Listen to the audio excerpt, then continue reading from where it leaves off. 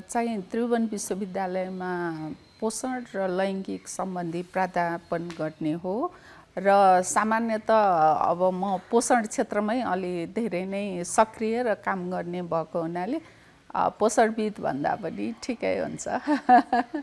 अब हाम्रो हामीले त नेपाल सरकारसँग भर पर्नुपर्ने हो होइन? अब खसी बोका अहिले खास गरिकन आयात गर्दाखेरि धेरै जसो चाहिँ त्यो क्वारेन्टाइनबाटै आएको हुन्छ होइन? कुनै स्वस्थ छ भनेर त्यो खाद्य तथा गुण नियन्त्रण कार्यालयबाट हेरेर जाँचेर नै ल्याइएको हुन्छ। त्यसैले अब त्यो जाँचेर ल्याएको कारणले गर्दा स्वस्थ छ भन्ने कुरा चाहिँ गर्न सकिन्छ त्यो भरोसा गर्न सकिन्छ। अब कतिपय निजी क्षेत्रबाट पनि ल्याएको हुन्छ। तर अब अहिले चाहिँ के छ भनेदेखि हामीले गाउँघरमा डुल्दा पनि खसी बोकाहरूलाई चाहिँ निरन्तर डक्टरहरूको सम्पर्कमा रहेर उचित औषधोपचार चाहिँ गरिरहेकै पाइएको छ। पालेको खसी बोका बाख्राहरूमा। त्यसैले गर्दाखेरि अब त्यति धेरै शङ्का गर्नुपर्ने ठाउँ चाहिँ रहन्न। तर अब कोही कोही रोगी पनि हुन सक्छन्। अब त्यसमा त हामी हन्ड्रेड पर्सेन्टै शुद्ध छ भनेर भन्न सक्दैनौँ र अलिकति हाम्रो व्यवस्थापन र यो बजार नियन्त्रण अलिकति फितलो भएको कारणले गर्दा पनि उपभोक्ता आफै नै अलिकति सजे सचेत भएर अलिकति टाठो बाठो फुर्तिलो चिल्लो जिउ भएको अनि अब अलि अब त्यो बाँधेरै राख्दा पनि फुर्तिलोपना देखाइरहने त्यस्तोहरू चाहिँ किन्दाखेरि राम्रो हुन्छ।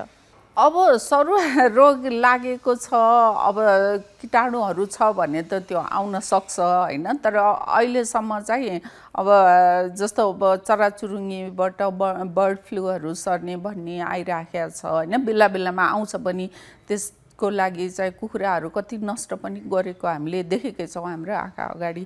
त्यस्तो चाहिँ हुनसक्छ। तर अब त्यो प्रकोप र त्यो महामारी फैलिएको छैन भने चाहिँ त्यति डराउनु पर्दैन। अब अहिले चाहिँ पशुपन्छी पाल्नेहरूले पनि अलि सफा सुग्घर रहनुपर्छ। पशुपन्छीलाई पनि सफा राख्नुपर्छ भन्ने त्यो चेतना चाहिँ आएको भएर पालुवा जनावर चाहिँ त्यति फोहोरी चाहिँ छैन जस्तो लाग्छ। अब राम्रोसँग सुरक्षित साथ धोइ पखाली गरेर काट्ने हो होइन? मासु काट्ने ठाउँ पनि एकदमै सफा झिङ्गा नभन्किने होइन? सफा त्यो अब कपडा राख्नुपर्छ कि प्लास्टिक राख्नुपर्छ कि त्यो गरेर अब सरसफाइमा चाहिँ खासै हामीले ध्यान ध्यान दिनुपर्छ एकदमै धेरै। र अर्को कुरा चाहिँ मासु असाध्यै यो संवेदनशील खाद्य पदार्थ हो जसमा किटाणुहरू छिट्टै आकर्षित हुन्छ। त्यसले गर्दाखेरि अब काटिसकेपछि तुरुन्त त्यसलाई प्रोसेस गरेर अनि हामीले भान्सामा राखिहाल्नु पर्ने हुन्छ। अब त्यसलाई रेफ्रिजरेसन गर्नुपर्ने हो कि सुरक्षित धेरै समयसम्म काँचो राख्नको लागि रेफ्रिजरेसन गर्ने हो कि अथवा पकाइहाल्ने हो त्यो चाहिँ तुरुन्तै गरेर हाल्नुपर्छ। नभएदेखि त्यो सड्ने सम्भावना चाहिँ एकदमै छिटो हुन्छ। यदि सुरक्षित साथ हामीले राखेको छैनौँ काँचो मासु पनि अब डिप फ्रिजमा राखेको छैन भनेदेखि त त्यसमा ब्याक्टेरियाहरू तुरुन्तै आइहाल्छ होइन? किटाणुहरू तुरुन्तै आकर्षित भएर त्यसमा त्यो विकसित भइहाल्छ। अब पकाउँदाखेरि पनि अब हामीले राम्रोसँग पकाएका छैनौँ भनेदेखि र अब धेरै पानीमा धेरै पकाएर अब लामो समयसम्म राख्यौँ जस्तो आज पकायो होइन? अनि त्यसपछि भोलिसम्म पर्सिसम्म पनि सुरक्षित तरिकाले नराखी खुल्ला त्यसै अहिले त अब अलिअलि चिसो पनि छ रेफ्रिजरेटरमा राख्नु पर्दैन भनेर हामीले बाहिरै राख्यौँ भने पनि त्यो तुरुन्तै सडिहाल्छ ब्याक्टेरिया ग्रोथ भइहाल्छ। त्यसैले हामीले यो सुरक्षित राख्न चाहिँ एकदमै धेरै ध्यान दिनुपर्छ मासुको लागि। किनभने मैले अघि पनि भने बारम्बार मैले भनिरहेको छु मासु ब्याक्टेरियाहरूको लागि असाध्यै राम्रो माध्यम हो सर्नको लागि र एकदमै उनीहरूले रुचाउने माध्यम पनि हो। त्यसमा चिल्लोपना पनि हुन्छ अनि प्रोटिन जन्य पदार्थहरू पनि हुन्छ। त्यसले गर्दाखेरि त्यो छिट्टै विकसित भएर जान्छ। त्यसैले सुरक्षित साथ राख्ने र खाने गर्ने चाहिँ एकदमै त्यो महत्त्वपूर्ण छ। त्यो चाहिँ एउटा समस्या हुन्छ हुन त। पहिला पहिला हामी कहीँ हाम्रै घरमा पनि हुँदैन थियो रेफ्रिजरेटर। अहिलेको यो नयाँ विकसित यन्त्र मात्रै हो होइन तकनिकी हो। अब त्यो हुँदाखेरि चाहिँ हामी पहिला पहिला चाहिँ पकाएरै राख्थ्यौँ कि हाम्रो घरहरूमा आमा बुवाहरूले पकाएरै सुरक्षित साथ राख्ने गर्नुहुन्थ्यो। त्यो विशेष त पकाउने पनि विशेष तरिका हुन्छ कि त्यो सुरक्षित राख्नको लागि। अब हामी त घरमा त्यहाँ प्रिजर्भेटिभ्सहरू सुरक्षित राख्ने रासायनिक पदार्थहरू हाल्दैनौँ। त्यसैले अब हाम्रो घरेलु तवरबाट नै त्यसलाई हामी पाँच छ दिनसम्म पकाएको खानेकुरा पाँच छ दिनसम्म नबिग्रियोस् भनेर पकाउँछौँ। त्यो पकाउँदाखेरि अब कबाब भन्छ नि होइन? कबाब लगाउने भन्छ।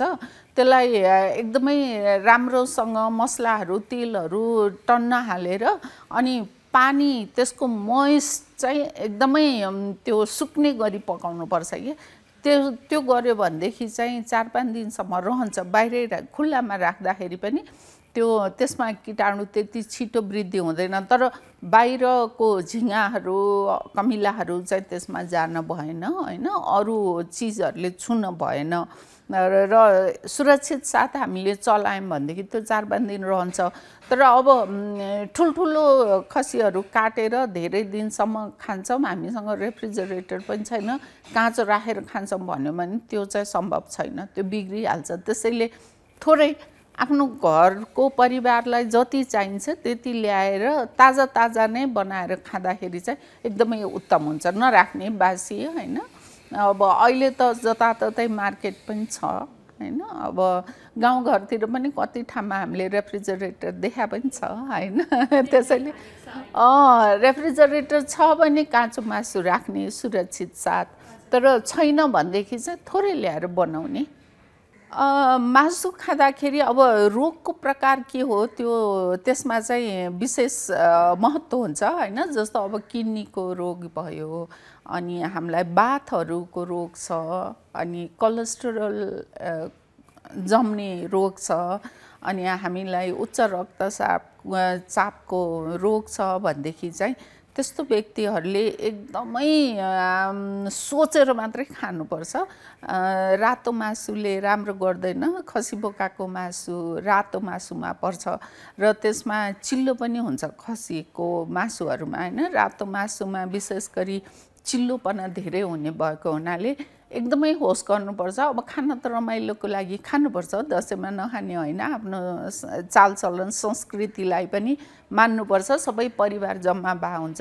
त्यो बेला हुँदाखेरि खाने हो। तर विशेष गरी उहाँहरूले चाहिँ अलिकति बोसो रहित मासुहरू चाहिँ उसिनेर खाँदाखेरि असाध्यै राम्रो हुन्छ। जिउलाई फाइदा पनि गर्छ।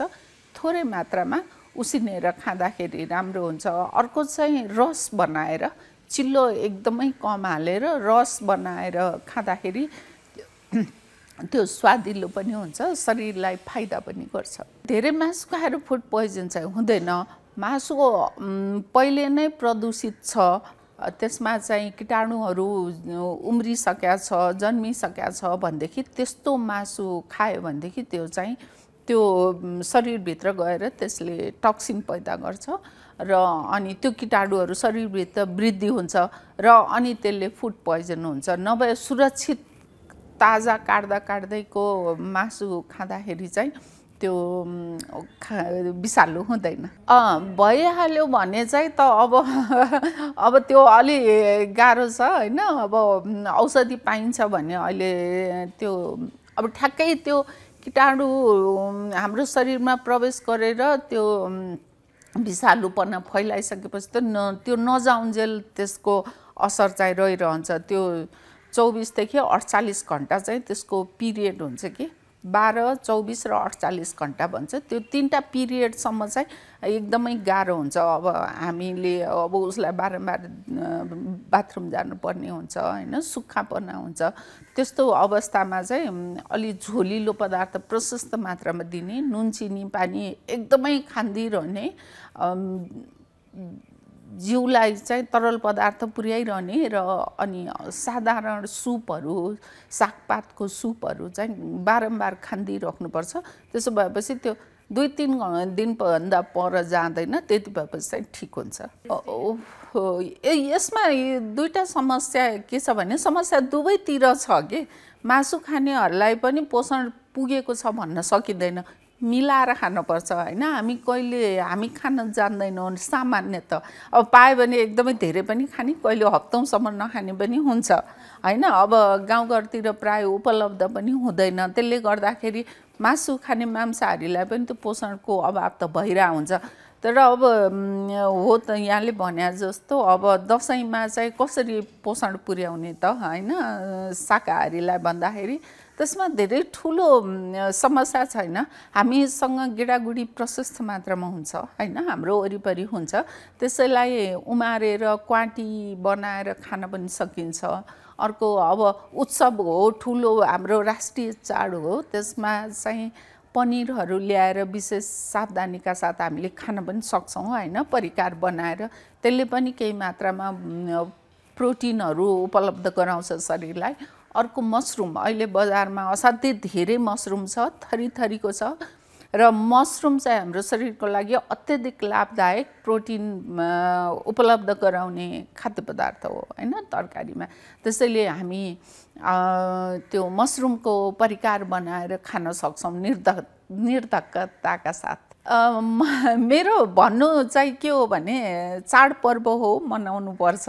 सबैले खुसी साथ हाँसी खुसी सबै परिवारसँग मेलमिलाप गरेर भव्यताका साथ मनाउने तर सुरक्षित पनि रहने खाने भनेर धेरै जथाभावी पनि नखाने ठिक्क खाने अर्को यो मासु र सोडाजन्य पदार्थहरू चाहिँ एकदमै हाम्रो चलन पनि छ होइन? मासु खाँदाखेरि कोक फ्यान्टा सोडाहरू त्यस्तो अनि जाँड रक्सीहरू खाने गर्छौँ त्यो चाहिँ कहिले पनि नगरौँ होइन? जा त्यो सोडाजन्य पदार्थ र यो अल्कोहल पदार्थहरू र मासुको चाहिँ मिश्रण भयो भने त्यसले शरीरलाई फाइदा गर्दैन।